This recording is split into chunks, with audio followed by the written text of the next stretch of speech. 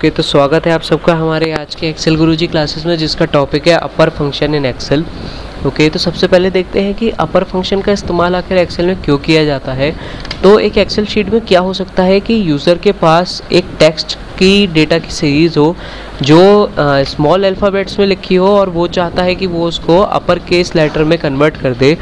तो वो क्या कर सकता है, या तो उस डेटा को दोबारा टाइप करे फॉर्मेटिंग इस्तेमाल करके या फिर वो अपर फ़ंक्शन का इस्तेमाल कर सकता है उस पूरे डेटा को बिग लेटर्स में कन्वर्ट करने के लिए सिर्फ़ सिंगल क्लिक में। तो आइए देखते हैं ये कैसे होता है। ओके okay, तो जैसे कि आप देख रहे हैं यहाँ पर मेरे पास एक डेटा टेबल है जिसमें क्या है कि मेरे पास कुछ लोगों के नाम लिखे हैं।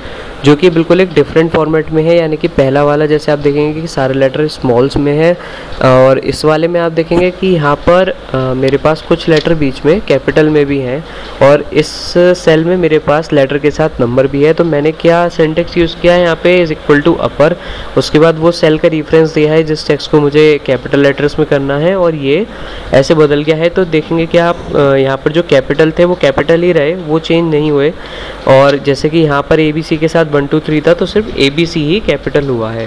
तो अपर फ़ंक्शन करता क्या है? ये फ़ंक्शन कन्वर्ट करता है करेक्टर्स को जो कि टेस्ट में लिखे हैं कैपिटल लेटर्स में। इसका syntax is equal to upper उसके बाद वो सेल सेलेक्ट कर लीजिए या वो टेक्स्ट लिख दीजिए, जो भी आपको कन्वर्ट करना है।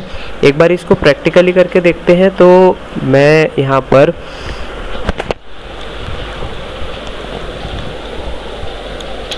इस वैल्यू को पेस्ट कर देता हूँ। उसके बाद यहाँ पर फॉर्मूला लगा के मैं आपको शो करता हूँ कि हमारा अपर फॉर्मूला यूज़ कैसे किया जाता है। तो यहाँ पे मैं लिखूँगा इज़ इक्वल टू अपर उसके बाद मैं वो सेल या फिर वो टेक्स्ट सेलेक्ट कर लूँगा जो भी मुझे कैपिटल लेटर्स में कन्वर्ट करना है। तो ये देखिए इसने यहाँ पर आ, मेरे टेक्स्ट को कैपिटल लेटर में कन्वर्ट कर दिया है।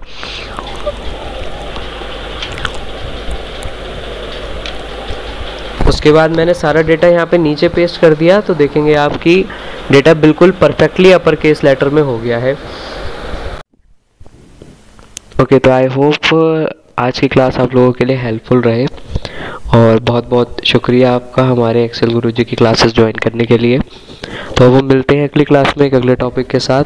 तब तक मैं आपको बताना चाहता हूँ कि किसी भी तरीके की फाइनेंशियल सर्विसेज़ या जीएसटी या इनकम टैक्स से रिलेटेड सर्विसेज़ लेने के लिए आप हमारी वेबसाइट विज़िट करें www.18corporates.cf हम हर तरीके की फाइनेंशियल सर्विसेज़ जैसे कि accounting book keeping G S registration income tax return registration provide करते हैं।